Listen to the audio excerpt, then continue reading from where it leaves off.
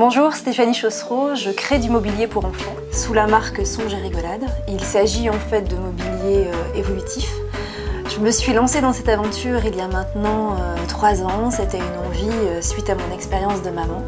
J'avais envie de mobilier fonctionnel, évolutif et qui accompagne l'enfant entre 0 et 6 ans. En termes d'accompagnement, lorsqu'on est jeune créateur, c'est aussi très important de sentir qu'il y a des gens qui, peuvent vous, guider et vous aider.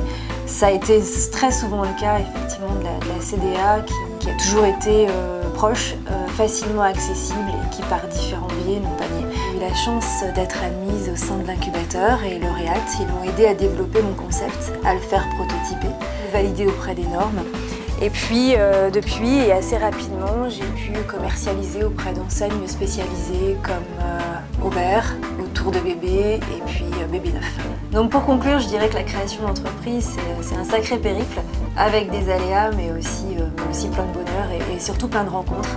Et ce que je retiendrai là aussi, c'est que j'ai été aidée et, euh, c'est vrai que la dernière aide de la CDA par la PTR m'a permis de, développer, de, prototyper un nouveau produit, la gamme Pop, qui désormais d'ailleurs est commercialisée par Toys R Us, et c'est une sacrée.